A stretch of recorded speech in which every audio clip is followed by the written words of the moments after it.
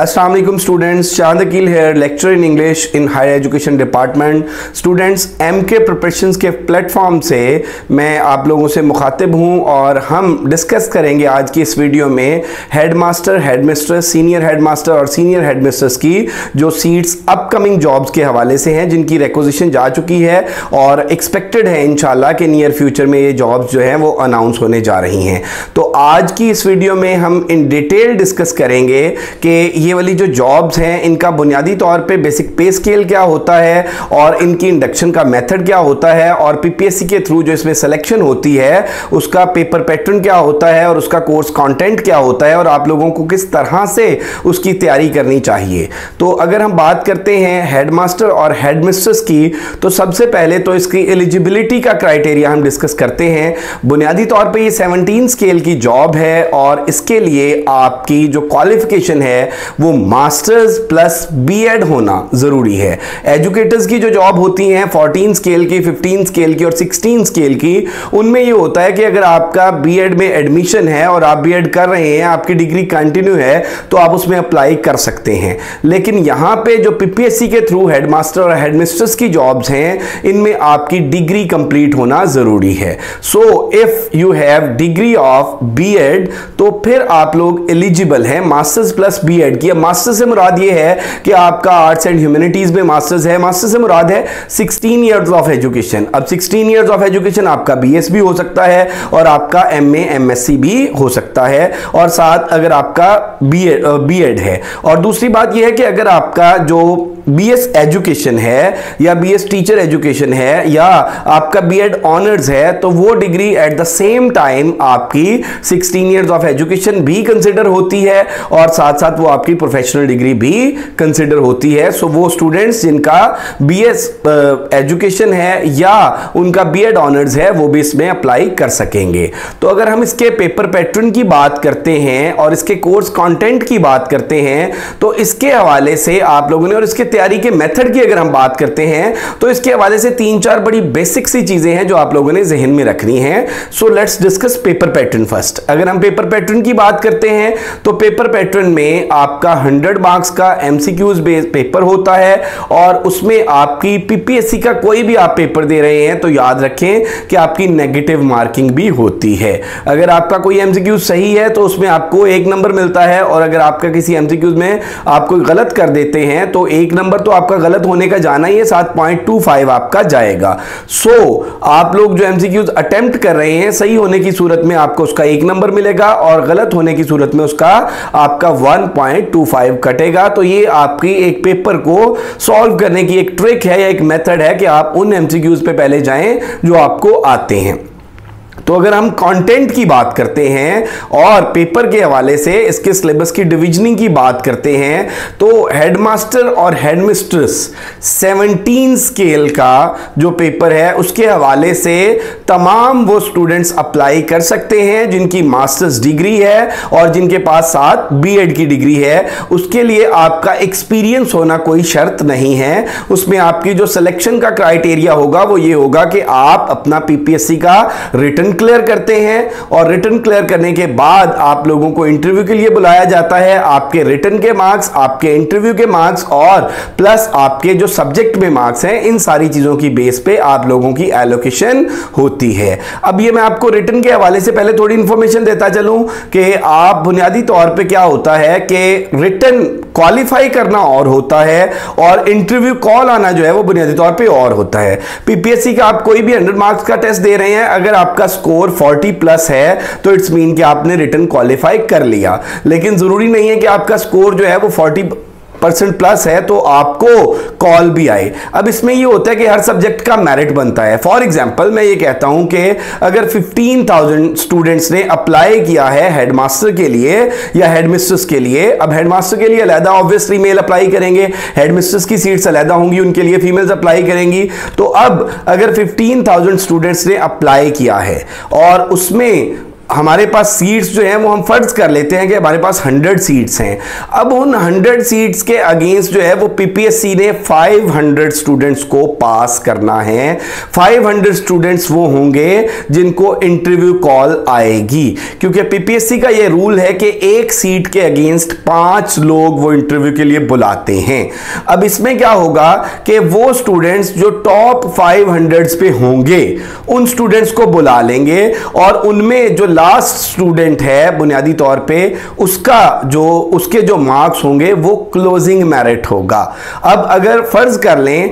कि एक स्टूडेंट के मार्क्स आते हैं 58 ठीक है? और लास्ट क्लोजिंग मेरिट है 58 उसको इंटरव्यू की कॉल आ गई तो 57.75 भी अगर आपके हैं तो आप फिर मेरा बेटा इंटरव्यू के आपको कॉल नहीं आएगी, आल दो कि आपका टेस्ट जो है वो पास है और आपका चांस जाया नहीं हुआ। अब पीपीएससी में देखें कि एक जॉब के लिए मिनिमम तीन चांस हैं तो उसमें आपके जो हेडमास्टर के तीन चांस हैं हेडमिस्टर्स के सेवनटीन के तीन चांस हैं, वो अलहदा हैं, और सीनियर हेडमास्टर और सीनियर हेडमिस्टर्स के तीन तीन चांसेस जो हैं, वो आपके पास अलहदा हैं। तो अब इसमें हम बुनियादी तौर पे तो ये है कि आप लोग जो है, वो अपना टेस्ट को क्वालिफाई करते हैं। आपको इंटरव्यू कॉल आती है और वो जो 500 स्टूडेंट्स को इंटरव्यू कॉल आती है 100 सीट के अगेंस्ट उसमें से भी मेरा बेटा क्या है कि 100 लोग जो है, वो सिलेक्ट होंगे और वो जो मेरिट में टॉप पे होंगे। और मेरिट में आपको बताता चलूँ कि इस तरह से बनता है कि पहले इनकी सिलेक्शन जो है, वो आपके फोर्टी मार्क्स एकेडमिक्स के होते थे। हंड्रेड मार्क्स का ये आपसे टेस्ट लेते हैं, जिसकी कन्वर्जन कर लेते हैं और वो फिफ्टी मार्क्स में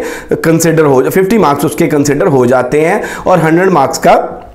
इंटरव्यू है। सो टेस्ट पास करने अब कुछ स्टूडेंट्स के जहन में ये आएगा कि मेरी सेकंड डिवीज़न है, मेरी थ्रू आउट सेकंड डिवीज़न है। बेटे, इससे फ़र्क ही कोई नहीं पड़ता, क्योंकि आपके एकेडमिक्स के मार्क्स जो है वो 40 हैं और आपके जो इंटरव्यू के मार्क्स हैं, वो 100 हैं, आपके टेस्ट के मार्क्स जो हैं, वो 50 हैं। तो अगर आपकी थ्रू आउट सेकेंड डिविजन भी हैं इट डजेंट मैटर अगर आपका टेस्ट बहुत अच्छा हुआ है और अगर आपका इंटरव्यू बहुत अच्छा हुआ है तो आपकी सिलेक्शन के चांसेस ज़्यादा होंगे एज कंपेयर टू दो स्टूडेंट्स के, जिनका टेस्ट या इंटरव्यू टेस्ट उन्होंने क्वालिफाई कर लिया, लेकिन जिनका इंटरव्यू बहुत अच्छा नहीं हुआ। तो एकेडमिक से कोई बहुत ज़्यादा फ़र्क नहीं पड़ता, क्योंकि आपकी सिलेक्शन के अंदर जो सबसे कम वेटेज है, वो आपके एकेडमिक्स की है और सबसे ज़्यादा वेटेज जो है वो आपके इंटरव्यू की है। अब हम डिस्कस कर लेते हैं कि हमें हेडमास्टर के टेस्ट की तैयारी किस तरह से करनी चाहिए। एक जो गलती स्टूडेंट्स करते हैं, सबसे जो मेजर मैं ये कहता हूँ कि उसको हम गलती मिस्टेक नहीं कह सकते, उसको हम ब्लंडर कहते हैं कि स्टूडेंट्स सीट्स अनाउंस होने का वेट करते हैं और फिर तैयारी स्टार्ट करते हैं जब सीट्स अनाउंस होती हैं। अब याद रखें कि ये 17 स्केल की सीट है और पीपीएससी के थ्रू है, इसमें वो सारे लोग अप्लाई करते हैं जो ऑलरेडी स्कूल एजुकेशन डिपार्टमेंट में हैं। कोई 16 स्केल पे काम एज एईओ काम कर रहा है या एसएसटी काम कर रहा है, वो भी अप्लाई करेगा। जो ईएसटी काम कर रहा है, वो भी अप्लाई करेगा। और जो पीएसटी के तौर पे काम कर रहे हैं, वो भी अप्लाई करेंगे और इसके अलावा फ्रेश कैंडिडेट अप्लाई करेंगे। अब इसमें थोड़ा सा जो ऑलरेडी लोग पढ़ा रहे होते हैं, उनको थोड़ा सा एज इसलिए होता है कि उनको एजुकेशन के हवाले से पैडागॉजी के हवाले से बेसिक टर्मिनोलॉजीज का पता होता है। लेकिन ये कोई मतलब अगर तो आप अपने आप को अपडेटेड रखते हैं तो इट्स वेरी फाइन अदरवाइज़ क्या है कि इसमें और कोई जो फ्रेश कैंडिडेट है जो फ्रेशर्स हैं उनमें कोई बहुत ज़्यादा फ़र्क नहीं होता। सो so, मैं आपको ये बताना चाह रहा हूँ कि हमारी जो गलती है वो ये है कि जब एड आ जाता है तो फिर हम लोग तैयारी स्टार्ट करते हैं। अब एड आने के बाद आपके पास पास जो अप्लाई करने के डेज़ होते हैं, वो 25 टू 30 डेज़ मैक्सिमम वो जो एड आने के बाद क्लोजिंग डेट होती है ना, वो टू वीक से थ्री वीक्स तक होती है और उसके बाद क्लोजिंग डेट के बाद आपके टेस्ट की डेट के लिए वो मैक्सिमम आप ये कह लें कि थ्री वीक्स मोर ठीक है? तो इसमें बुनियादी तौर पे ऐड के बाद आपकी क्लोजिंग डेट से आपके टेस्ट का टाइम ये क्या होता है कि मैक्सिमम ये ढाई से तीन मंथ का ड्यूरेशन होता है और सम टाइम ये होता है कि ये एक से डेढ़ मंथ में भी इसको क्लोजिंग डेट के बाद फॉरन ही after ten to fifteen days अगर पीपीएससी का स्केड्यूल बहुत बिज़ी नहीं होता तो वो क्लोजिंग डेट के बाद टेन टू फिफ्टीन डेज़ में टेस्ट ले लेते हैं। सो so, इस चीज़ का अगर आप वेट कर रहे हैं देखें रेकोजिशन चली गई हुई है ठीक है? और होप सो इंशाल्लाह के जॉब जो हैं वो जल्द एडवर्टाइज हो जाएँगी। अगर आप लोग इस चीज़ का वेट कर रहे हैं कि जॉब्स अनाउंस होंगी तो उसके बाद तैयारी शुरू करेंगे तो ये कहीं ना कहीं पे आप लोग जो है अपना टाइम वेस्ट कर रहे हैं। और दूसरी बात यह है कि हम क्या करते हैं कि हम डायरेक्टली चले जाते हैं मार्केट के अंदर जो अवेलेबल गाइड्स हैं डिफरेंट गाइड्स हैं। डोगर्स के डोगर्स वालों ने पब्लिश की हुई है डोगर ब्रदर ने अलहदा पब्लिश की हुई है इल्मी वालों ने कारवा वालों ने भट्टी सन्स ने। अब ये डिफरेंट गाइड्स हैं, जिनमें बच्चे क्या करते हैं कि डायरेक्ट ऑब्जेक्टिव पे चले जाते हैं। देखिए कि जब तक आपको सब्जेक्टिव के कॉन्सेप्ट नहीं क्लियर या एटलीस्ट वन लाइनर्स नहीं क्लियर तब तक अगर आप डायरेक्ट एमसीक्यूज पे जाते हैं तो आप लोग उसको अच्छे तरीके से याद नहीं नहीं रख पाते और आप लोग उसको पेपर में उस तरह से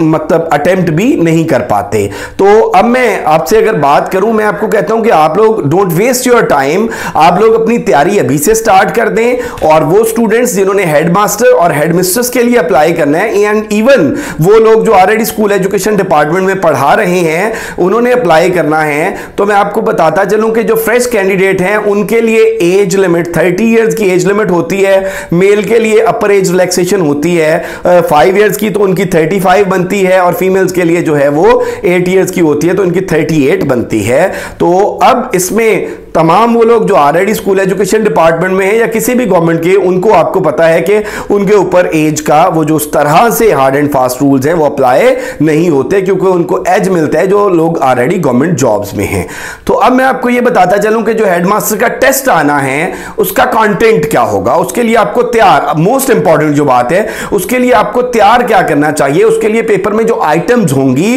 पेपर में जो सिलेबस होगा या उसका जो पेपर्स है, वो किस तरह से आएगा और कहाँ से आएगा? जाएगा उसमें क्या चीज़ें जो हैं वो आ, मतलब पेपर सेटर डिज़ाइन करेगा। तो इसमें बेटे 70 मार्क्स मिनिमम 70 और maximum 80 it's up to paper setter ठीक है? तो हेडमास्टर के पेपर में 70 टू 80 मार्क्स का जो पोर्शन होता है, वो होता है सब्जेक्ट का। और सब्जेक्ट क्या है? एजुकेशन है। और एजुकेशन ऑब्वियसली देखें कि साइंसेस वाले जो लोग अप्लाई कर रहे हैं, उन्होंने एमए एजुकेशन तो नहीं किया हुआ, या आर्ट्स वाले जो लोग अप्लाई कर रहे हैं, उनका एमए एजुकेशन तो नहीं है। अब बेटे एजुकेशन इन्होंने बीएड की डिग्री की कंपल्शन इसीलिए रखी है कि बीएड की कोर्स आउटलाइन जो है, वो सारी की सारी वही है, जो ऑलमोस्ट एम एजुकेशन या बीएस एजुकेशन में पढ़ाई जाती है। इसको हम टीचिंग के हवाले से प्रोफेशनल डिग्री बोलते हैं बी को या एम को। तो अब देखें जी, इसमें होगा क्या कि एजुकेशन का जो सब्जेक्ट है, या आप इन सिंपल वर्ड जिन लोगों ने बी किया है तो आपके बी से रिलेटेड बी टू एम जो है, उससे रिलेटेड 70 टू 80 मार्क्स का पेपर आएगा। अब उन 70 टू 80 मार्क्स में जनरल साइंस में अगर मैं आपको बताऊँ कि for example philosophies of education education उसके बाद अगर हम बात करते हैं एजुकेशनल साइकोलॉजी की बात करते हैं, उसके बाद हम असेसमेंट की बात करते हैं असेसमेंट के टूल्स की बात करते हैं एजुकेशन की रिसर्च के हवाले से हम बात कर लेते हैं, उसके अलावा कंप्यूटर इन एजुकेशन की हम बात कर लेते हैं टीचिंग मेथडोलॉजीज की बात कर लेते हैं टेक्सोनोमीज की बात कर लेते हैं, और ये इसको मतलब इसके लिए हम टर्म जो यूज़ करते हैं पैडागॉजी की तो बुनियादी तौर पर पैडागॉजी के हवाले से या एजुकेशन के हवाले से अब हम इसको इस तरह से लेके चलते हैं। दोबारा मैं बोल देता हूँ एजुकेशन की फिलॉसफी ठीक है? एजुकेशन की मेथडोलॉजी है, और उसके अलावा एजुकेशनल साइकोलॉजी है, उसके अलावा रिसर्च मेथडोलॉजी है हिस्ट्री ऑफ़ एजुकेशन है डिफरेंट ईयर्स में जो एजुकेशनल पॉलिसीज़ आई, वो हैं, उसके अलावा टेस्ट असेसमेंट है, उसके अलावा जो मेथड्स हैं असेसमेंट के, वो हैं टाइप्स ऑफ़ असेसमेंट है, और उसके अलावा करिकुलम डेवलपमेंट है, और इसके अलावा जो टेस्ट आइटम्स डेवलपमेंट हैं, इस तरह की सारी की सारी चीज़ें जो हैं, ये आपके पास बीएड की कोर्स आउटलाइन और इसके साथ जो है वो एमएड की कोर्स आउटलाइन ये आपके पास मौजूद होगी और एम एजुकेशन की डिफरेंट यूनिवर्सिटीज से, जिन स्टूडेंट्स से प्राइवेट भी किया तो उनमें भी कमोबेश यही वाला सारा जो कोर्स कंटेंट है जो मैंने डिस्कस किया, ये होता है। तो 70 टू 80 मार्क्स के लिए आपने इनको तैयार करने अब इनको तैयार करने के लिए बेटे, जब आप डायरेक्टली कोई उठाते हैं गाइड अब पहली बात तो यह है कि गाइड्स की कोई क्रेडिबिलिटी नहीं होती और मैं पूरी गारंटी के साथ ये बात कर रहा हूँ कि आधे से ज़्यादा गाइड्स वो हैं कि जिनके अंदर आंसर कीज गलत लगी होती हैं। अब गाइड्स के हवाले से ना बहुत कम रेयर इस तरह की गाइड्स हैं कि जो उन सब्जेक्ट के एक्सपर्ट्स ने बनाई होती हैं। वो मेरा बेटा बुनियादी तौर पर कंपोजर्स ने उठा के और डाटा कंपाइल किया होता है और शायद उसकी उस लेवल पर प्रूफ रीडिंग भी नहीं होती, ठीक है? तो अब उससे जब आप तैयारी करते हैं तो आपने अपनी तरफ़ से तैयारी कर ली, सब सब्जेक्ट की हंड्रेड परसेंट। आपको ये लगता है कि आपको ये सारे के सारे कंटेंट आते हैं, लेकिन एक्चुअली मेरा पुत्र क्या होता है कि आप लोग टेस्ट में उस लेवल का परफॉर्म नहीं कर पाते। तो इसके हवाले से मैं आपको बताऊँ कि आप लोग इन फिलोसफीज को एजुकेशन की जो साइकोलॉजी है टेक्सोनॉमीज हैं एजुकेशन की जो हिस्ट्री है, इनके हवाले से सब्जेक्टिव को पढ़ें वन लाइनर को पढ़ें, ठीक है? और इसके लिए अल्हम्दुलिल्लाह हम इसी मंथ के अंदर एम के प्रिपरेशन के प्लेटफॉर्म से एक टेस्ट सेशन भी स्टार्ट करने जा रहे हैं, जिसकी मैं डिटेल्स इस वीडियो में आपके साथ इस वीडियो के एंड पे शेयर करता हूँ। लेकिन पहले हम पेपर में जो बाकी रिमेनिंग 20 टू 30 मार्क्स का पोर्शन है, उसको डिस्कस कर लें। अब देखें अगर 70 मार्क्स का आता है एजुकेशन के हवाले से तो 30 मार्क्स में आपकी बेसिक इंग्लिश होगी, जिसमें बेसिक ग्रामर है डायरेक्ट इनडायरेक्ट है एक्टिव पैसिव है प्रेपोजिशन है आर्टिकल है स्पेलिंग एरर्स हैं, और उसके बाद सेनोनिम्स और एंटोनिम्स हैं। इसी तरह से बेसिक इस्लामिक स्टडीज़ होगी और बेसिक उर्दू होगी। उर्दू के कोई मुहावरे आपसे पूछे जा सकते हैं, उर्दू की कोई ग्रामर पूछी जा सकती है और इसके बाद बेसिक कंप्यूटर होगा बेसिक मैथमेटिक्स होगी और करंट अफेयर और जनरल नॉलेज ये वाली चीज़ें और एवरीडे के कोई एक या दो क्वेश्चन हो सकते हैं। तो ये वाली चीज़ें जो है पीपीएससी में 70 टू 80 परसेंट आपका पेडागॉजी हो गया, जिसको बुनियादी तौर पे हमने कहा कि बीएड की जो आपकी प्रोफेशनल डिग्री की जो कोर्स आउटलाइन है, वो होगी और उसके बाद जो 20 टू 30 परसेंट आपका जो है, बाकी सब्जेक्ट्स जिनका मैंने अभी आपको बताया, वो होंगे। तो अब इसमें थोड़ा सा मैं आपको एक तैयारी के हवाले से मेथड बताता चलूँ कि नॉर्मली होता क्या है कि अब देखिए, इसमें ना मतलब लोगों का ना डाइवर्सिफाइड बैकग्राउंड होता है कि साइंसेस वाले बच्चे भी ऑब्वियसली अप्लाई कर रहे हैं। किसी बच्चे का बैकग्राउंड एमएससी केमिस्ट्री का है, किसी का बीएस फिजिक्स का है, किसी का बीएस बॉटनी का है, किसी का एमए एजुकेशन का है, किसी का एमए उर्दू का है। तो अब ये वाले जो स्टूडेंट्स हैं हैविंग डिफरेंट बैकग्राउंड्स अब इन्होंने क्या किया होता है कि अपनी जो मास्टर्स डिग्री है अपनी जो बीएस डिग्री है, अपनी जो 16 इयर्स ऑफ़ एजुकेशन है, उसको तो किसी रेगुलर इंस्टीट्यूशन से किया होता है। लेकिन साथ इन्होंने जो बीएड किया होता है, उसको इन्होंने एक ऑप्शनल डिग्री के तौर पे बस टेकन फॉर ग्रांटेड लिया होता है। तो उसको इन्होंने किया होता है किस तरह से कि किसी ओपन यूनिवर्सिटी से कर लिया डिस्टेंस लर्निंग से कर लिया तो वो ऐसा उस तरह से पढ़ के तैयार नहीं किया होता। तो जब तक मेरा बेटा, आप ये जो बीएड वाला कोर्स कंटेंट है, ये जो पेडागोजी वाला है, क्योंकि आपका पेपर बेस कर रहा है 70 टू 80 परसेंट इस पे तो इसकी तैयारी आप लोग किस तरह से,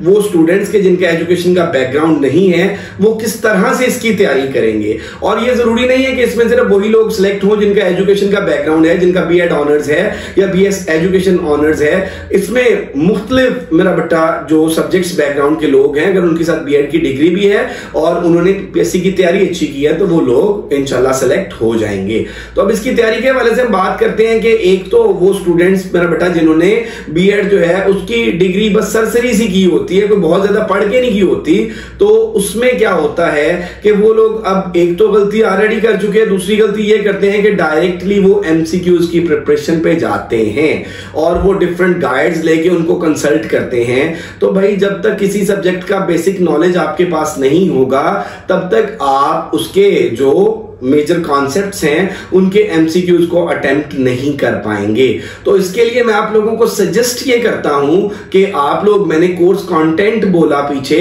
जिसमें हमने फिलोसफी ऑफ़ एजुकेशन बोला हिस्ट्री ऑफ़ एजुकेशन बोला एजुकेशनल साइकोलॉजी बोला रिसर्च मेथोडोलॉजी बोला करिकुलम डेवलपमेंट और ये वो सारी चीज़ें हैं जिनको मेरा बेटा आप क्या करेंगे कि गो थ्रू करेंगे, और इनको मेरा बेटा सब्जेक्टिव की फॉर्म में और वन लाइनर की फॉर्म में आप इनको पढ़ेंगे। day और आप लोगों को मैं बताता चलूँ कि अल्हम्दुलिल्लाह अल्हम्दुलिल्लाह एम के प्रिपरेशन के प्लेटफॉर्म से पिछले छह साल से हम लोग तैयारी करा रहे हैं और हमारे बहुत से स्टूडेंट्स जो हैं वो डिफरेंट डिपार्टमेंट्स में 16, 17, 14, 15 स्केल्स पर सेलेक्ट हो चुके हैं। आप लोग हमारा चैनल देख सकते हैं।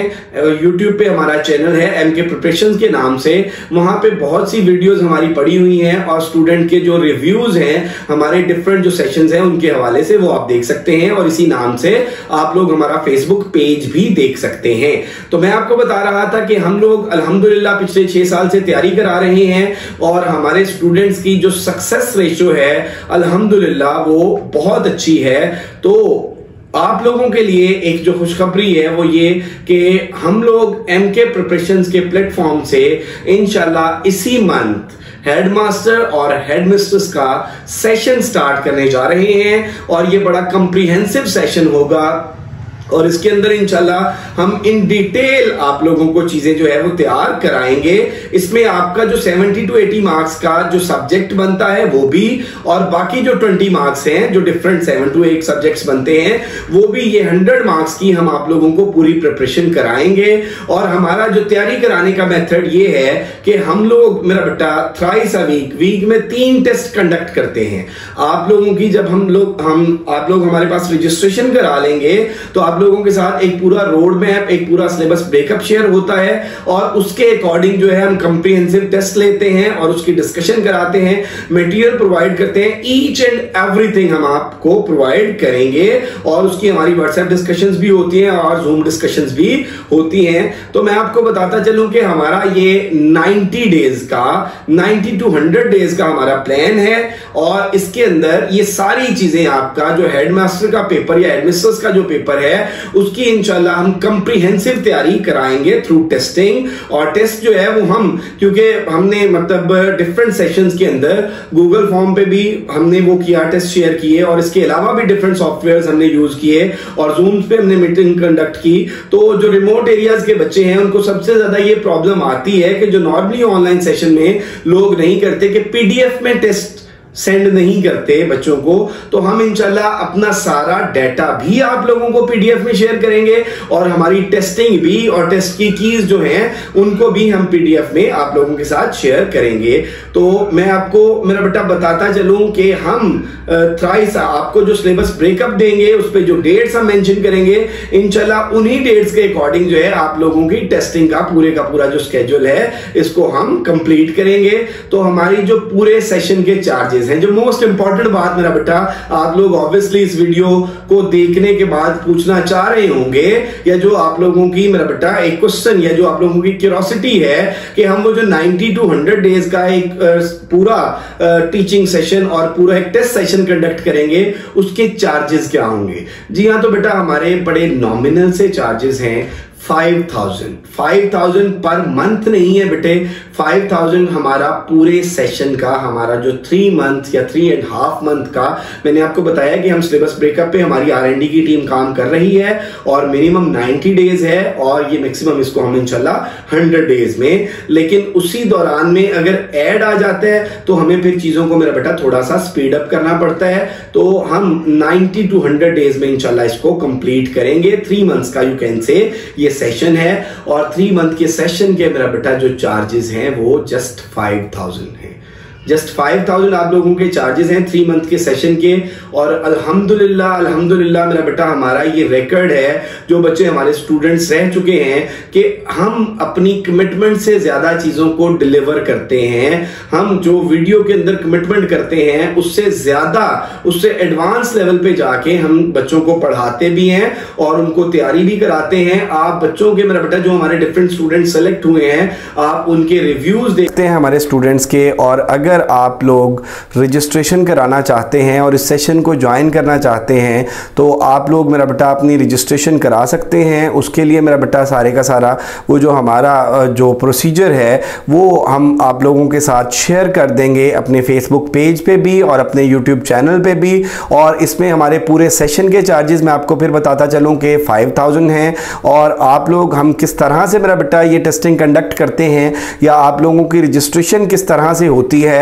आप लोग हमारे गिवन नंबर्स के ऊपर मेरा बेटा हमारा बैंक अकाउंट नंबर भी दिया हुआ है और उसके अलावा हमारा जैज़ कैश नंबर है इजी पैसा अकाउंट नंबर है, उस पर आप लोग अपनी फ़ी ट्रांसफ़र करते हैं और फ़ी ट्रांसफ़र करने के बाद आपने जिस पोस्ट के लिए अप्लाई किया है, आप वो पोस्ट साथ उस पर अपना नेम अपनी क्वालिफिकेशन ये सारी चीज़ों का आप एक जो है वो स्क्रीन हमें सेंड करते हैं। जब आपका वो स्क्रीन हमें रिसीव होता है तो हम आपको पेड ग्रुप का हिस्सा बना लेते हैं और उस पेड ग्रुप में आपके साथ सिलेबस ब्रेकअप शेयर हो जाएगा। तो बेटे मैं एक और बात जो है, वो आपको अपने चैनल के हवाले से बताता चलूँ कि बेतहाशा जो वीडियोज़ हैं या बेतहाशा लोग जो हैं, वो ऑनलाइन